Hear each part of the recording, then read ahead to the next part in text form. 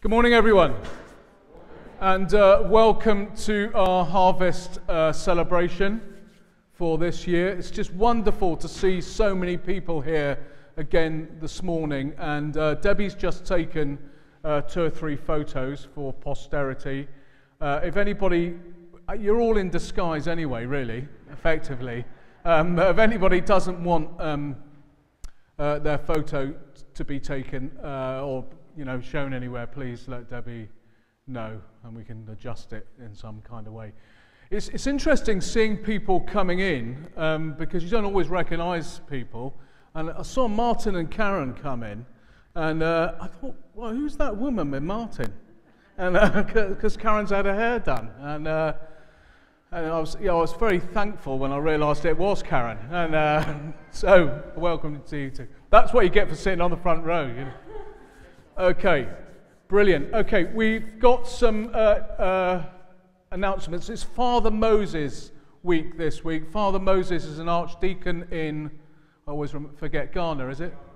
Ghana, in Ghana, who we've, he was around before I was around, so that's how I, I don't really, I've not met him, so I don't really know who he is. Well, you know, I've obviously heard of him. We collect for him on a monthly basis.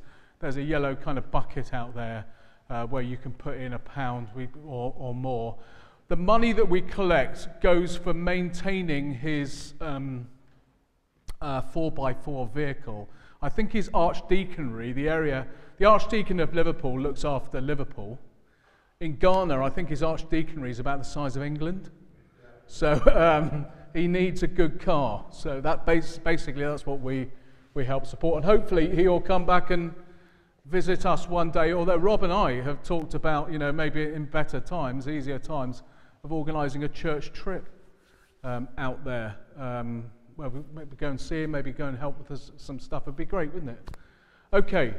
Um, NHS test and trace QR code. We're asking that you download this uh, and scan the QR code when you enter the church, but you still have to book in with Karen White as per normal. Um, children's Church contacts. If anyone's not on the uh, parents' WhatsApp group and would like to be, can you ring Janine on that number uh, or email Emma uh, on that uh, uh, address? I put this on the Facebook group so you can, uh, you can access it there, this information. Right, next. Advent craft bags. Again, Children's Church are organising and putting together for Advent some craft bags. That's because we can't do the kind of activities that we might do in a group, Christingle. We can't really, we will do Christingle, but it'll look a bit different this year. So I think the, the craft bags, I'm, I'm looking at hat now, I think they've got, they've got a Christingle making kit. That's, that's right. So they've got a Christingle making kit inside. Um, so it's going to be fun. They're going to be fun. But uh, can you please, if your child would like a craft bag, can you let, uh, again, Emma know on that email, which is easy. Emma81, I'm assuming that's her year of birth. Uh, uh Emma81 Baines at gmail.com. Is that right? Have I got that right? You now know how old Emma is. young, very young compared to me. Okay. Can't hear a word of that. Okay, let, yeah. So join the WhatsApp group and then let them, let them know via the, the WhatsApp group. Next. Okay, these two, we are, our annual general meeting, which was in two parts uh, the annual meeting of parishioners and the annual parochial church meeting. This morning, we have decided to postpone this because less and less people were booked into it for obvious reasons because we're in this restricted period. So um, we've, we've, decided to postpone this. We have to get it done by October the 31st. So if we can't do it in here, we'll probably have to try and do it by Zoom. I think we're allowed, uh, been given permission to do that by, by the bishop. Okay, got any more? Okay, I've got a couple here. It was due to be communion this week, but we decided because there's just so many people here, and given the, the additional restrictions, that the safer thing would be not to do communion this week. So we will come back to, we will be doing communion as soon as we're able in this service uh, twice a month as, as per normal. Um, on the school forms, this is the last week that the school forms, we're taking in the school forms this week, and then Karen and I will meet this week to look at them and to go through two registers. One that was taken uh, is taken in children's church, and one that has been taken here in church every week. So we have the statistics to base it on. Can I please just um, say two things? Don't panic about the school forms. You know, got enough to worry about without in life, without worrying too much about that. You know, try instead of don't panic, just pray. Okay, try try that. Um, so don't panic. The second thing is that the period from March the 22nd, that's when lockdown came in. Right, this is, this is the bishop, what the bishop has said. So the period from March the 22nd until now is not counted. Okay, it's not counted because uh, not everybody, I mean, we've got fantastic numbers today, but not everybody can always get in to every church in the diocese. And so the bishop has decided that period, we're, we're not counting that. So the, the period that's being counted for 2020 is from January the 1st to the 22nd. That's the period. So is everyone clear about that? Okay, great. So it's our harvest celebration. Go back to that nice picture there, Rob. Our harvest celebration for 2020 is a picture here of um, honey, because we're producing honey um, in our, from our beehives, which are in the garden, which you, it's not really safe for loads of kids to go around the side. I know some did the other week for gardening, carefully supervised. Um, you would have seen the beehives, hopefully, hopefully not too close. Um, but you can see them if you stand at the railings there and look through, you can see them. Uh, I've been stung, um, not in, in our uh, churchyard, but in my garden, because these bees travel over and attack me there. Uh, but it's, it's worthwhile being stung once or twice uh, because we are producing honey from there, and, uh, which is a great thing because bees are under threat, aren't they? You know that. And uh, so Andrea, who is our apiarist, or beekeeper, um, she gets funding from the government. We don't pay anything for it. She gets funding from the government and uh, to do this and to do various teaching in schools. So it's a great thing for us to support as a church. Okay. So, for our opening prayer, there's some actions that we can all do. So, when I say open our eyes, we can do something around our eyes. Open our eyes. Open our eyes. Okay? Open our hands. We can do this, or somebody's doing that. That'll do. All right? Open our hands. Open our minds. Open our minds. Open our hearts. Which side's your heart? This side, isn't it? Hearts. Open our hearts. And open our whole lives. Okay? So when we do that one, we try not hit the person next to us. Open whole lives. Right, so let's do this together. Glorious God, we open our eyes to the wonders of your creation. We open our hands to the wonders, to the abundance of your gifts. We open our minds to the peace of your presence. We open our hearts to the mystery of your love. Glorious God, open our whole lives to your glory, and we shall be changed. Amen. So, we're going to have our first hymn now, which is a classic harvest hymn, perhaps the classic harvest hymn. We can't sing with our mouths, but we can always sing in our hearts. We plough the fields and scatter the good seed on the land.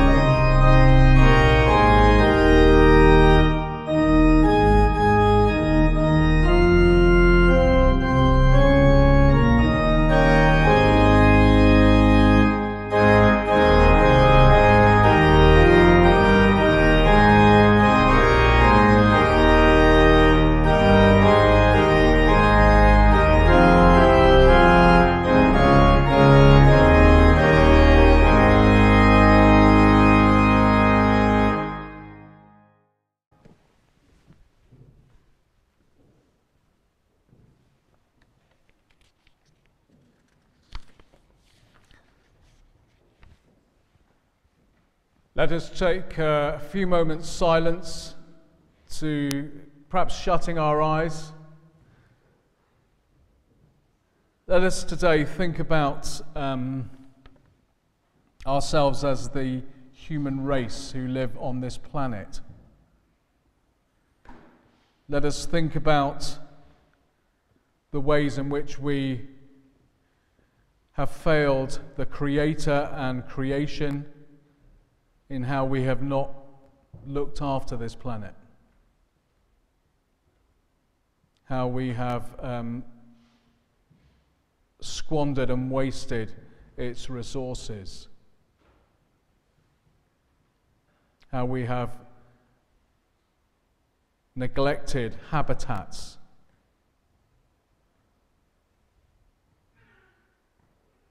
How we have polluted the oceans.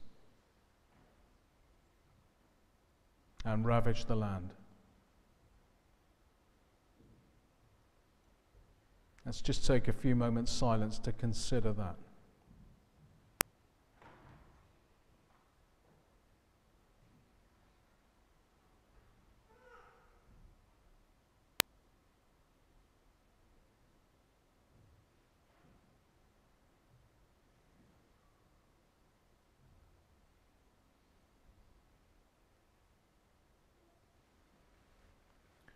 And we pray together.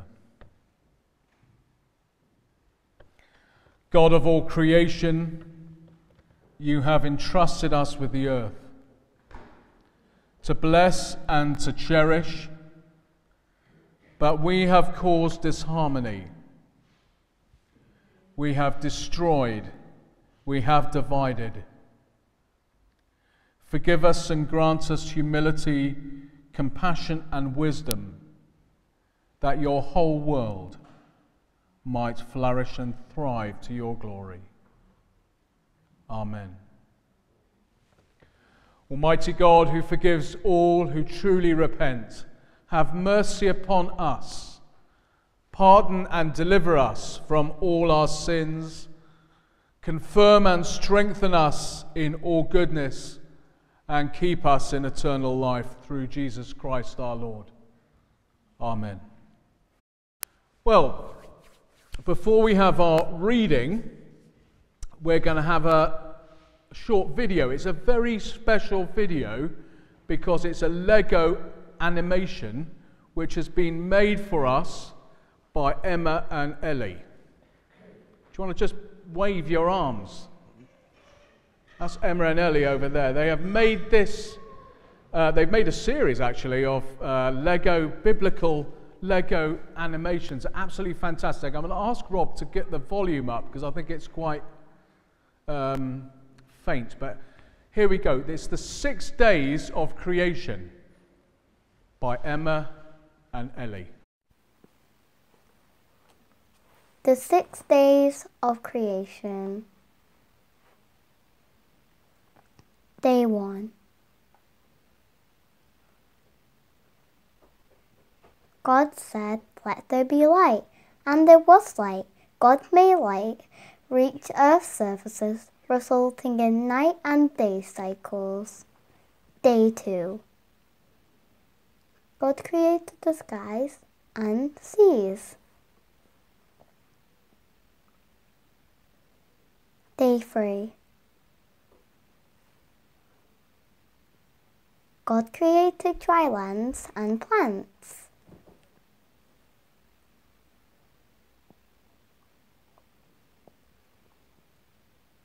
Day 4 God created the sun, stars, and the moon. Day 5 God created fish in the water and birds that fly in the sky. Day 6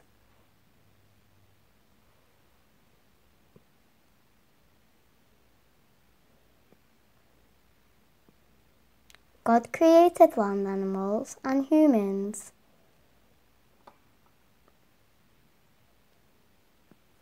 Day 7 God had finished his work of creation.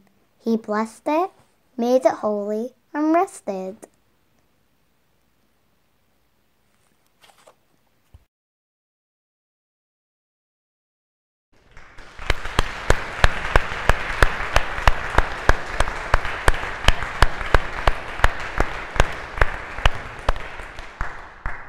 It was brilliant. So we're going to we're to have to have a song now, uh, just in a minute. But let me just say before we go on to the song and the reading, the six days of creation, uh, after which God rested. This can be seen in different ways. Some people, and people are perfectly entitled to believe in this way because we live in a free society, and you know freedom of belief and freedom of thought. That's what we have. Some people believe it literally, that the world was literally created in seven individual days, and that's okay. Other people, me included, believe it's uh, an ancient, like an ancient kind of picture of how things came into being. Some people like can uh, marry it up with uh, e- the evolutionary process, so it can be seen in different ways. Uh, it was a wonderful video, and it, but it helps us it helps particularly ancient people to understand how things came into being. Is that okay? Right, so we're going to have a song now, uh, which is a Graham Kendrick song, a beautiful song. It is Beauty for Brokenness.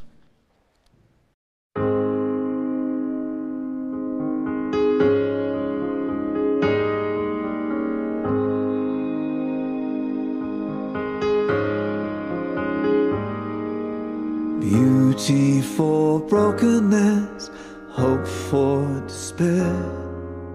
Lord, in the suffering, this is our prayer. Bread for the children, justice, joy, peace. Sunrise to sunset, your kingdom increase.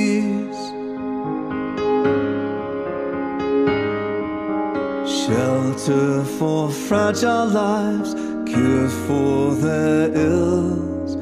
Work for the craftsman, trade for their skills. Land for the dispossessed, rights for the weak. Voices to plead the cause of those who can't speak. God of the poor friend of the weak. Give us compassion, we pray. Melt our cold hearts, let tears fall like rain. Come change our love from a spark to a flame. Refuge from cruel from fear, cities for sanctuary, freedoms to share. Peace to the killing fields, scorched earth to green. Christ for the bitterness, his cross for the pain. God of the poor,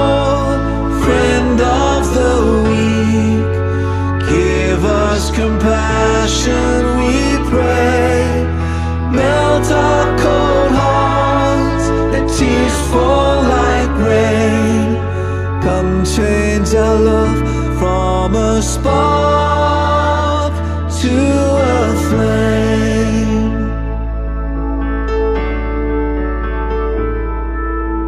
Rest for the ravished earth, oceans and streams, plundered and poisoned, our future, our dreams. Lord, and our madness, carelessness, greed,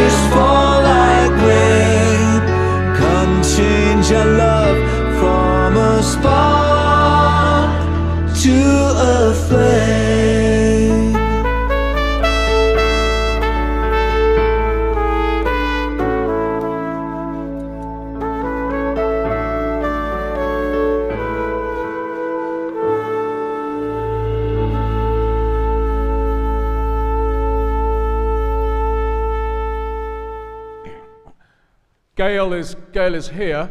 Um, Gail is going to bring us our reading, but the reading's going to appear on a video. Thanks, Gail. The reading is taken from Genesis chapter 1, verses 26 to 31. Then God said, Let us make man in our image, in our likeness, and let them rule over the fish of the sea and the birds of the air, over the livestock, over all the earth, and over all the creatures that move along the ground.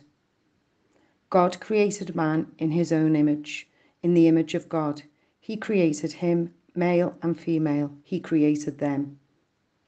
God blessed them and said to them, Be fruitful and increase in number, fill the earth and subdue it. Rule over the fish of the sea and the birds of the air, and over every living creature that moves on the ground. Then God said, I give you every seed bearing plant on the face of the whole earth, and every tree that has fruit with seed in it. They will be yours for food. And to all the beasts of the earth, and all the birds of the air, and all the creatures that move on the ground, everything that has the breath of life in it, I give every green plant for food. And it was so. God saw all that he had made, and it was very good. And there was evening, and there was morning, the sixth day.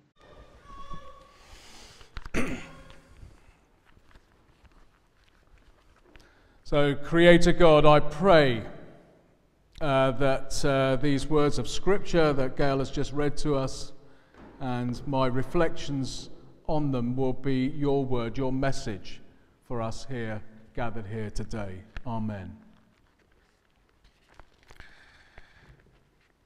So, on this Harvest Sunday, I want us to think about creation and our, our part in it. Because we are part of creation, we're not something or someone who is separate from it. You've heard of St. Francis of Assisi? You've heard of him, St. Francis? He understood this, I think, better than anyone of his era of Christian history. This is his canticle. Be praised, my Lord, through all your creatures, especially through my Lord, brother, Sun, who brings the day, and you give light through him. And he is beautiful and radiant in all his splendor. Of you, Most High, he bears the likeness. Be praised, my Lord, through sister moon and the stars. In the heavens you have made them precious and beautiful. Be praised, my Lord, through brothers, wind and air, and clouds and storms, and all the weather through which you give your creatures sustenance. Be praised, my Lord, through sister water, She is very useful and humble and precious and pure. Be praised, my Lord, through brother fire, through whom you have the, through whom you brighten the night. He is beautiful and cheerful and powerful and strong. Be praised, my Lord, through our sister, Mother Earth, who feeds us and rules us and produces various fruits with coloured flowers and herbs. Be praised, my Lord, through those who forgive for love of you, through those who endure sickness and trial. Happy are those who endure in peace, for they will be crowned. St. Francis of Assisi.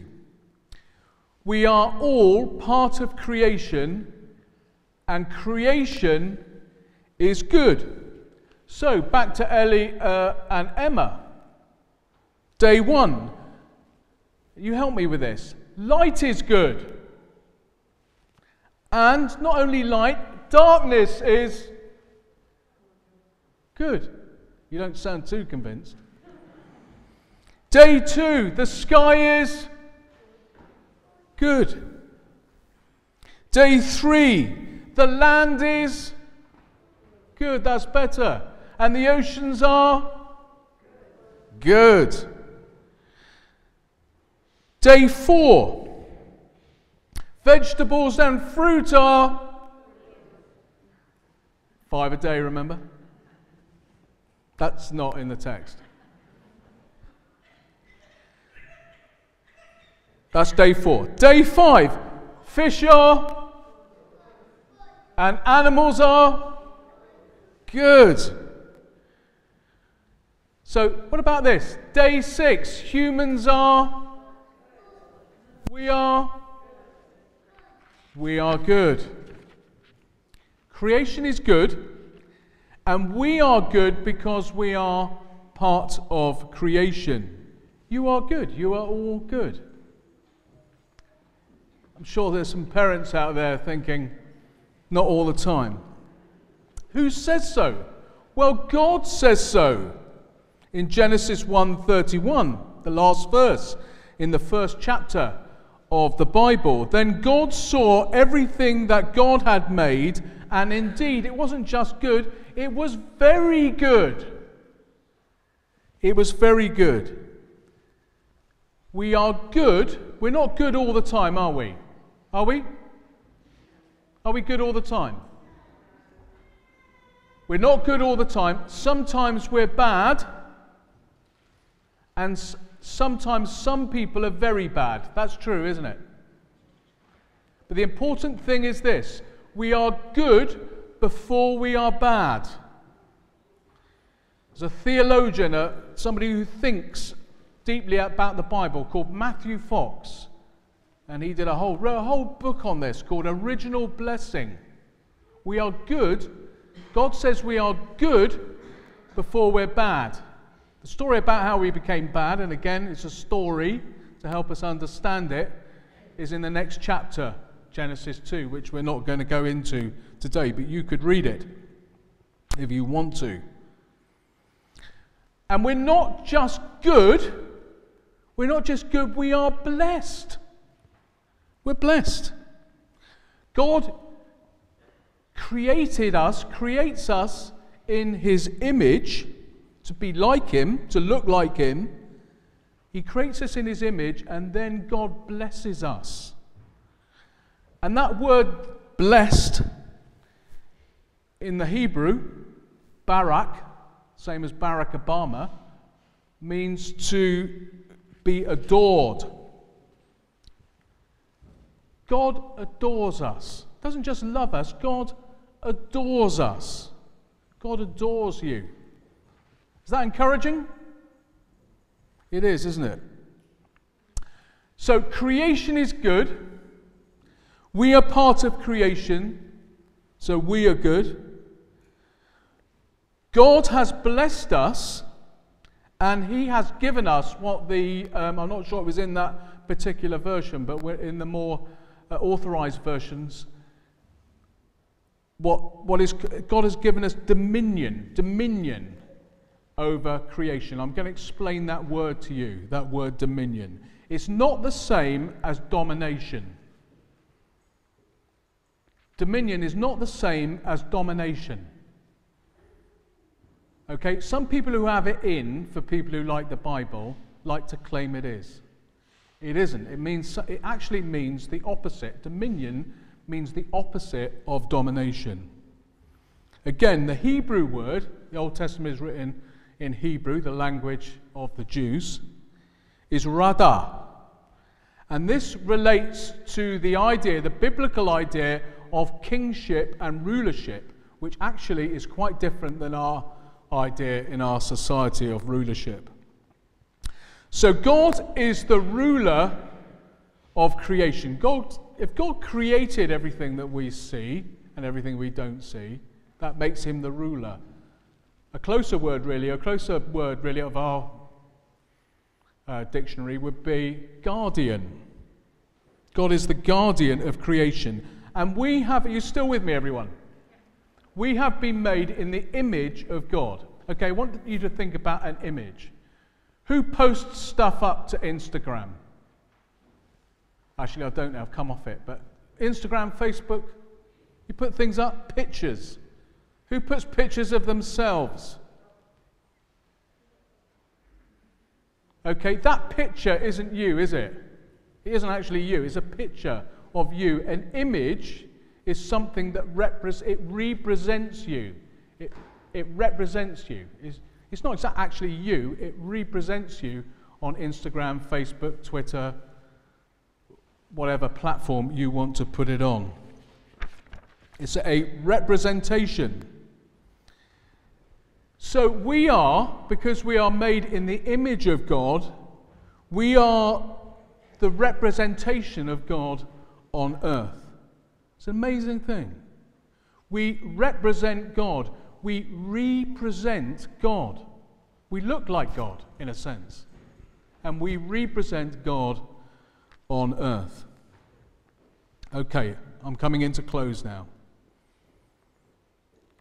As God's representatives on earth, we have responsibilities. We have responsibilities towards the earth, towards the world in which we live and the earth upon which we live. We have responsibilities to care for the earth in the same way that God cares for the earth. And not to use or abuse it. I know we're not doing a very good job of that as human beings, but we, we have those responsibilities. We are guardians, if you like, of creation. We have been entrusted by God with creation's safekeeping, to keep it safe, to safeguard it, and to sustain it, to sustain its goodness. If you've got a good thing, you want to keep it safe, don't you? If you've got a good family, so many good families here. If you've got a good marriage, if you've got a good friendship, if you've got a anything that's good, you want to keep it safe and you want to keep it going. You want to sustain it. Now, I don't you want you to get this final bit wrong and to misunderstand me. This is one of the reasons why I would, with a small c, consider myself to be a conservative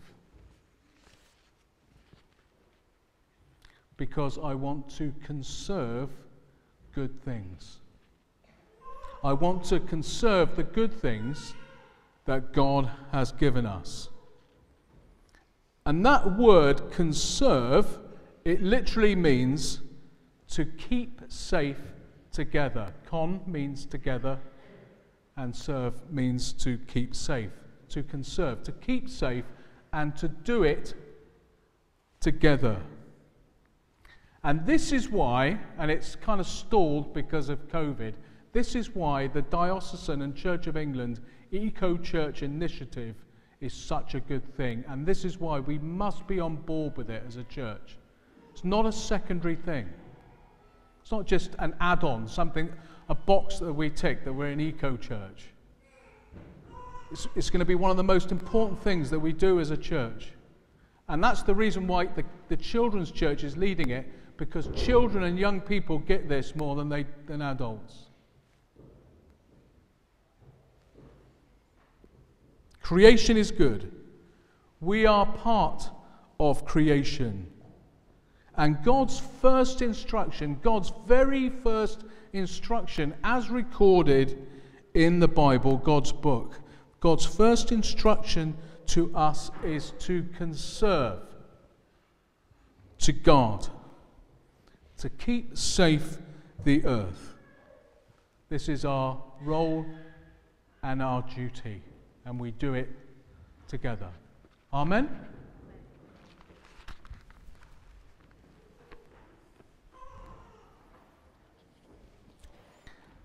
So we're going to uh, say a creed.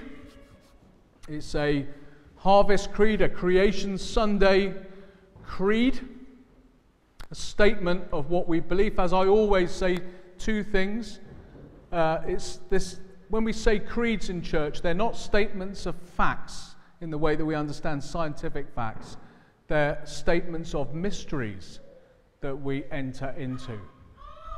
So if you want, you don't have to say the creed if you don't want to, um, but we are, those of us who wish to, will say it together.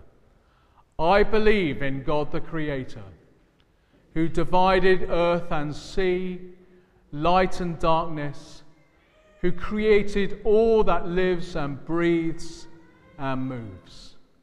I believe that I am part of and have responsibility towards God's continuing creation.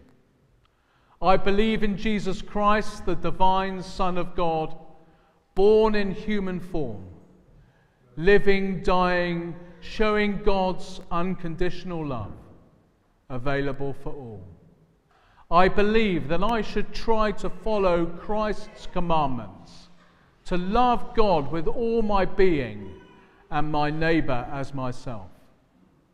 I believe in the Spirit who manifests God's wisdom and power yesterday, today, and tomorrow. I believe that I need the Spirit to enable and inspire me in life and to be with me in death. I believe in the Trinity of God, the one in three wholeness, the three in one diversity. I believe that the mystery of the Trinity will be revealed when we are transformed to eternity. Amen. So, Cheryl, who is also uh, with us today, is going to lead us in our prayers again, which uh, are on the screen. Dear God, as we celebrate Harvest Festival, we give thanks for the blessings of food provision, and nourishment. Please grow in us a harvest for the world. Come sow a seed of hope within our souls, Lord, that we might yield goodness, patience, and kindness in abundance. Sow a seed of peace in our lives, Lord, that we might bear the fruits of forgiveness, compassion, and righteousness. Come sow a seed of love in our hearts, Lord, that others would reap the blessings of family, friendship, and community. May each seed of hope, peace, and love grow within us into a harvest that can be feasted on by all. Amen. Creator God, provider of all, we bring you thanks today. For daily bread and all who work to bring your harvest home, thank you, Lord. Forgive our ingratitude we who have so much yet waste what you have given. For those whose harvest is poor, whose crops have withered, water tainted, children starve, help those who bring relief and bestow on us an unaccustomed generosity, that all might share from your garden and all might sing your praise. God of seed and harvest, please continue to bless us, so that the beauty of the world and the loving that created it might be expressed through our lives and be a blessing to others now and always. Amen. Dear Lord, our Heavenly Father, for all whose day starts with anxiety, as they leave the security of home, worrying about the risk of infection, particularly those whose health or age classifies them as vulnerable. Loving God, be close to them and keep them safe, along with all whose task today includes the care of frail and elderly. And for all of us, grant wisdom to make sensible choices, not just for ourselves, but for everybody. Lord, let us not forget, as daily life becomes more difficult and restrictions cause annoyance, that there are many for whom this has been normality for years, affected by long term drought or destructive storms, struggling in poverty or through violence forced to adopt the life of refugee. May we remember to be thankful for what we have and work together selflessly for all who need our help. Give wisdom, Lord, to all in authority, not only leaders of nations, but local communities, that actions and words are prompted by the needs of others and not personal gain. That all might ask the question, Who is my neighbour? and as if seeing through your eyes, want nothing but the best for them. Loving God, what we desire is this that people see not us, but through our smile, greeting, helping hand, or helpful word. Your love reach out and touch, maybe at a time of need. Keep us focused through this day on being your servants in this place, or wherever you might take us, and may your name be glorified through your Son Jesus Christ. Amen. Almighty God, Father of all mercies, we, your unworthy servants, give you humble thanks for all your goodness and loving kindness to us and to all whom you have made. We bless you for our creation, preservation, and all the blessings of this life, but above all, for your immeasurable love in the redemption of the world by our Lord Jesus Christ, for the means of grace and the hope of glory. And we pray, give us such an awareness of your mercies that with truly thankful hearts we may show forth your praise, not only with our lips, but in our lives, by giving up ourselves to your service, and by walking before you in holiness and righteousness all our days, through Jesus Christ our Lord, to whom with you and the Holy Spirit be honour and glory throughout all ages. Heavenly Father, Amen.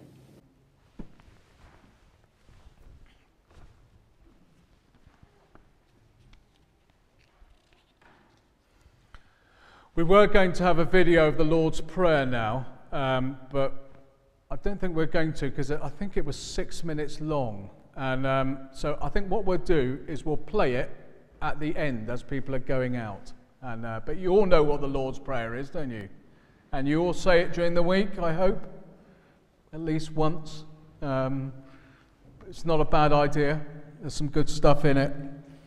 Okay, so we are going to have a song now, which is our final song, um, which is I, the Lord of Sea and Sky.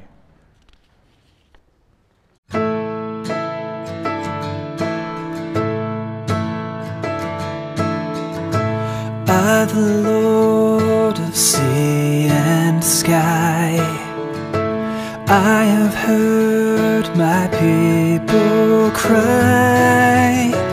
Oh, who dwell in dark and sin,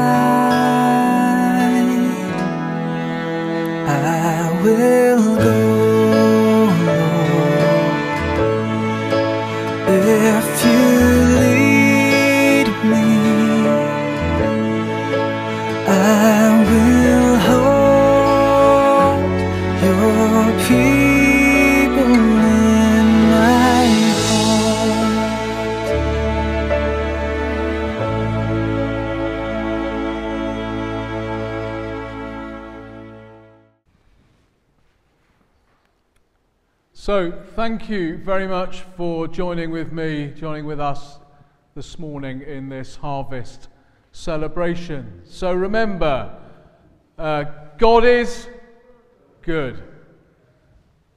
God's creation is. We are. Right, what comes next? We are. Um, we are made in God's and we represent Him. We represent God, and so we have a responsibility to the earth, to the world, and to take care of it, to take care of people, to love our neighbor, even to love our enemies. That is God's first instruction to us is to dominion, which doesn't mean domination. It means to conserve, to take care of together. Okay, and we do that together here in church and in, in wider society as we live our lives. Some of you may have bought harvest donations today. Um, if you have, they've been put in a box outside. If you, you still haven't put them in, you could still give them to somebody. Um, we, we are going to take those to the Good Neighbour Project, which is based at St James's in the City Church in the city centre. They've got a project where they're taking out, it's not a food bank because it's difficult for people to come. So they've got, they're getting referred, people referred who are in need to them, and uh, they're taking out food parcels. So if you know of anybody who is in need, um, let me know, okay? Or if any of you are in need, actually, or loved ones, please let me know, and um, we, we can help people because that's what we're, as I've already said, that's what we're here to do. So we're going to collect together our worship in the prayer that we call the collect for today. Let us pray together.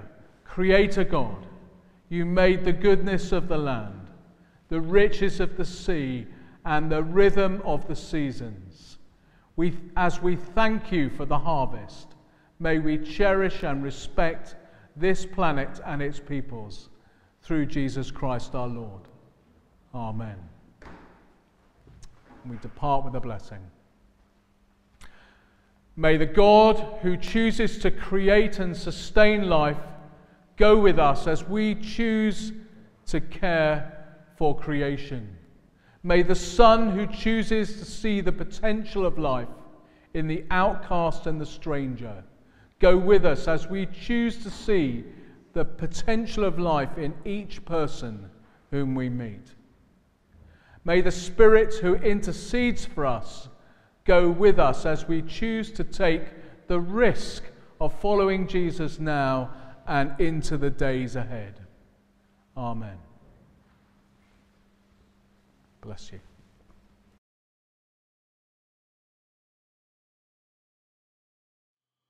Hello.